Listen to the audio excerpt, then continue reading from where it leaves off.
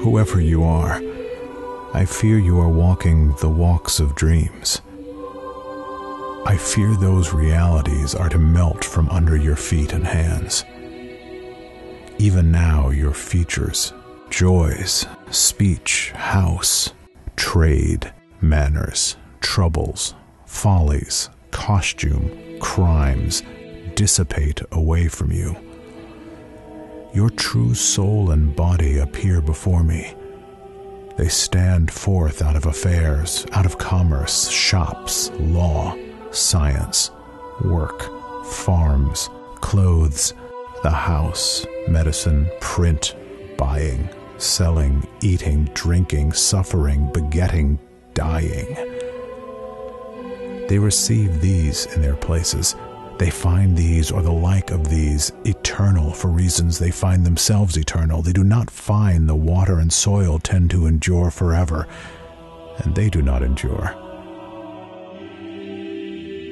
Whoever you are, now I place my hand upon you that you be my poem. I whisper with my lips close to your ear.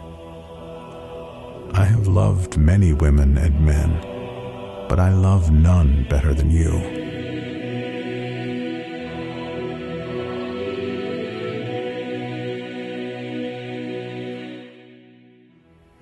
Oh, I have been dilatory and dumb. I should have made my way straight to you long ago. I should have blabbed nothing but you. I should have chanted nothing but you. I will leave all and come and make the hymns of you. None have understood you, but I understand you. None have done justice to you. You have not done justice to yourself. None have found you imperfect. I only find no imperfection in you. None but would subordinate you. I only am he who would never consent to subordinate you. I am only he who places over you no master, owner, better, God, beyond what waits intrinsically in yourself.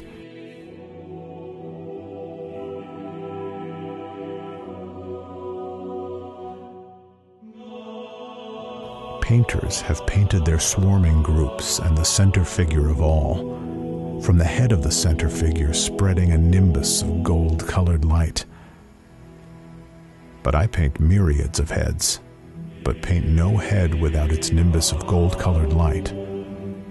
From my hand, from the brain of every man and woman it streams effulgently flowing forever. Oh, I could sing such grandeurs and glories about you. You have not known what you are. You have slumbered upon yourself all your life. Your eyelids have been as much as closed most of the time. You have done returns already in mockeries. Your thrift, knowledge, prayers, if they do not return in mockeries, what is their return? The mockeries are not you. Underneath them and within them, I see you lurk. I pursue you where none else has pursued you. Silence, the desk, the flippant expression, the night, the accustomed routine, if these conceal you from others or from yourself, they do not conceal you from me. The shaved face, the unsteady eye, the impure complexion, if these balk others, they do not balk me. The pert apparel, the deformed attitude, drunkenness, greed, premature death, all these I part aside. I track through your windings and turnings. I come upon you where you thought I should never come upon you. There is no endowment in man or woman that is not tallied in you. There is no virtue, no beauty in man or woman but as good is in you. No pluck, no endurance in others but as good is in you. No pleasure waiting for others but an equal pleasure waits for you. As for me, I give nothing to anyone except I give the like carefully to you. I sing the songs of glory of none, not God, sooner than I sing the songs of the glory of you.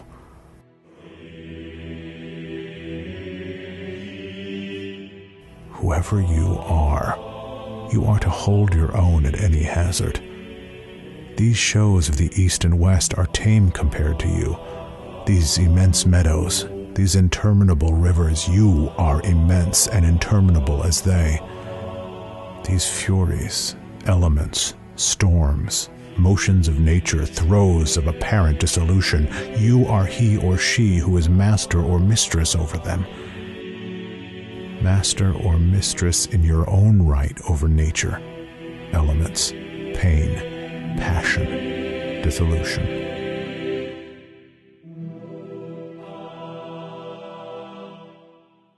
Hopples fall from your ankles. You find an unfailing sufficiency. Old, young, male, female, rude, low, rejected by the rest, whatever you are promulges itself through birth, life, death, burial the means are provided, nothing is scanted through anger, losses, ambition, ignorance, ennui. What you are picks its way.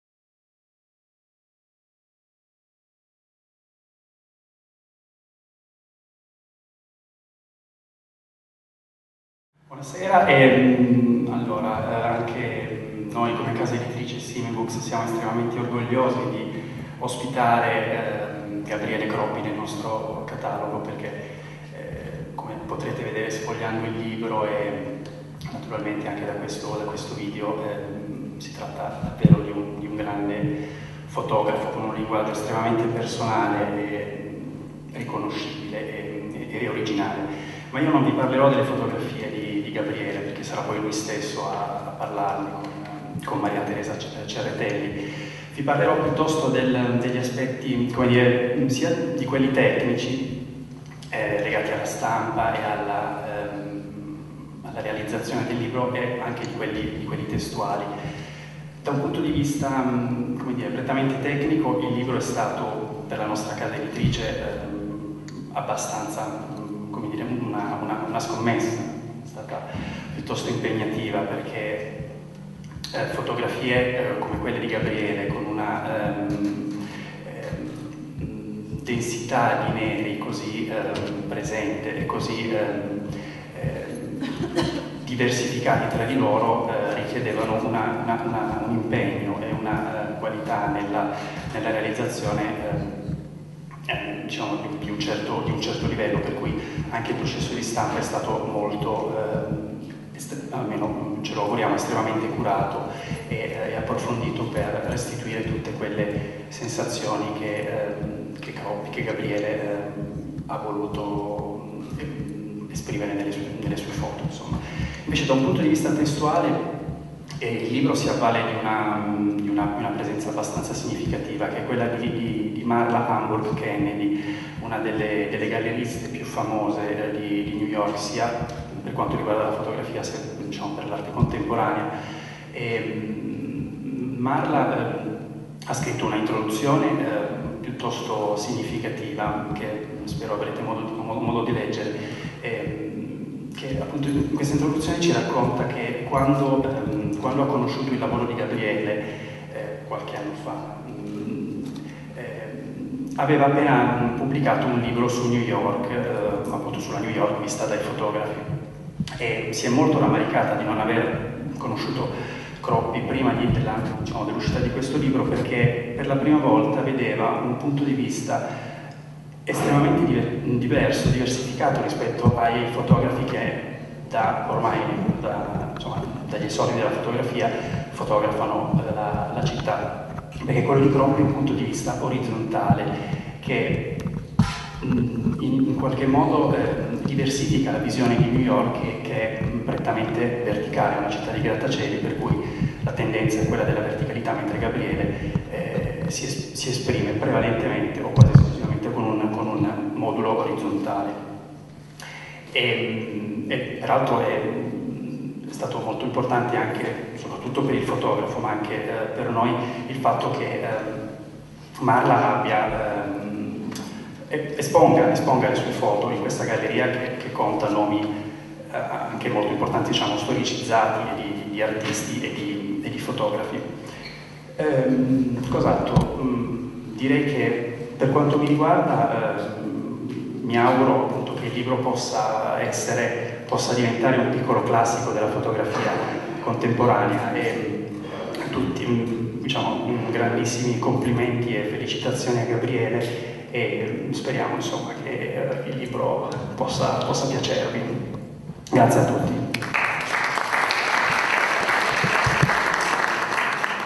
Per me eh, quello che ha molto colpito è il fatto che eh, Gabriele abbia scelto Whitman, no? il cantore dell'America, abbia scelto A Poem of You, Whoever You Are e mm, questa raccolta di, di, poesia, questo canto di questo bardo americano no? che ha innovato completamente la poesia americana.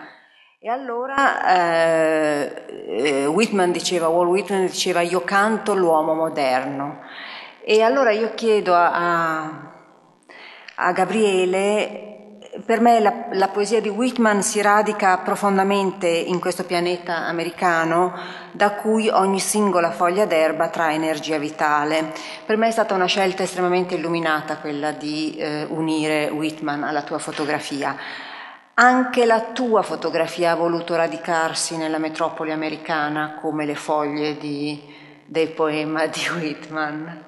Devo ringraziare molto la casa editrice che, che, che l'ha prodotto e, e mi ha permesso di arrivare, di arrivare, a realizzare un'idea che, che sin dai, dai giorni delle, riprese eh, di New York avevo, avevo, ben chiara in testa. Quindi eh, io sono molto, molto felice e molto orgoglioso di, di, aver fatto, di, aver dato un'animazione a, a, questo mio stile che, che sento molto. Eh, per rispondere alla tua domanda, nello specifico su Widman, eh, tu hai definito il poeta della modernità e certamente lo è, certamente lo era quando scrisse Foglie d'erba, eh, perché lui fu il primo a scrivere con un verso libero, quindi fu, fu innovatore da questo punto di vista. E questa innovazione non era una sperimentazione fine a se stessa come quelle sperimentazioni che potevamo osservare dall'altra parte dell'oceano eh, con le avanguardie o con diciamo, correnti simili era una sperimentazione che era anche, era anche dovuta dalla lingua inglese, che a differenza della lingua italiana, ad esempio, è una lingua molto, molto vicina alla lingua parlata, non c'era uno scarto fra poesia e, e linguaggio comune, quindi in questo senso anche una lingua democratica. E entrando nello specifico della, della, poesia che io ho letto, cioè una poesia per te, chiunque tu sia, eh, eh, entrando in questo specifico, allora, questo chiunque tu sia è proprio, eh, come dire, eh, l'indice, l'indice, cioè l'indice più, più, visibile di, di, di, questo approccio democratico che ho, ho, trovato tantissimo nelle mie fotografie, perché Whitman era un poeta della strada che parlava della strada e delle gente, delle persone, insomma, della, della strada. E, e, quelle persone sono le, persone, le, stesse persone che io vado cercando mentre fotografo, e sono quasi sempre mh, persone senza volto, sono quasi sempre persone non identificabili, chiunque, esse siano, quindi in questo senso c'è, c'è, una relazione che io ho sentito sin da subito con, con questa poesia e ho pensato di, di tradurla appunto in, in questo video. E Ecco, attaccandomi a questo discorso potrei dire questo, che cioè, la fotografia negli ultimi 20 o 30 anni è cambiata tantissimo, cioè, c'è stato questo salto epocale che dalla, dalla pellicola ci ha, ci ha proiettati eh, in un mondo digitale che, eh, che, ha aperto comunque nuove strade, ha dato molti, molti strumenti in più a chi opera nel campo della fotografia.